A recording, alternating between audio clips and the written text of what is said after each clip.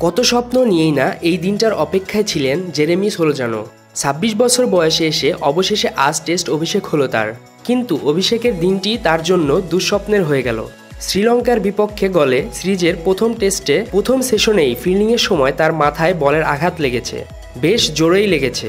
West ইন্ডিজের বাহাতি উদ্বোধনী এই ব্যাটসম্যানকে অ্যাম্বুলেন্সে করে হাসপাতালে নেওয়া হয়েছে। শর্ট লেগে ফিল্ডিং করছিলেন ষোলোজানো তার মাথায় হেলমেট ছিল।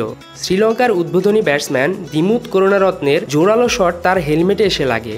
ক্রিকেট বিষয়ক ওয়েবসাইট ক্রিক ইনফো লিখেছে, গল থেকে তাকে অ্যাম্বুলেন্সে করে শ্রীলঙ্কার রাজধানী কলম্বো হাসপাতালে নেওয়া হয়েছে বলে জানা গেছে। সড়কপথে স্টেডিয়াম থেকে হাসপাতাল প্রায় এক ঘন্টারও বেশি দূরের পথ। দুই টেস্টের সিরিজের প্রথমটির প্রথম দিনে আজ মধ্যাহ্ন বিরতির কিছুক্ষণ আগে এই দুর্ঘটনা ঘটে।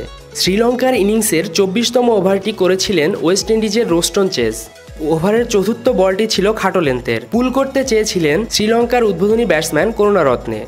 বলটা ব্যাটের একেবারে মাঝের অংশে লেগেছে। যে কারণে ব্যাটসম্যানের খুব কাছে শর্ট লেগে দাঁড়ানো ষোলো জানো, সরে যাওয়ার বা নিজেকে আঘাত থেকে বাঁচানোর কোনো সুযোগ পাননি। বল তার হেলমেটের সামনের দিকের অংশে জোরে আঘাত করে। আঘাতের পর কয়েক মিনিট মাঠে শুয়েছিলেন ষোলো জানো। ক্রিক ইনফো লিখেছে, দলের চিকিৎসকেরা তার শুশ্রূষা করার সময় ষোলো জানোর জ্ঞান ছিল বলে মনে হয়েছে। দুই দলের খেলোয়াড়েরাই এ সময় তাকে ঘিরে দাঁড়িয়েছিলেন। কিছুক্ষণ পর ষোলো জনকে কথা বলতেও দেখা গেছে।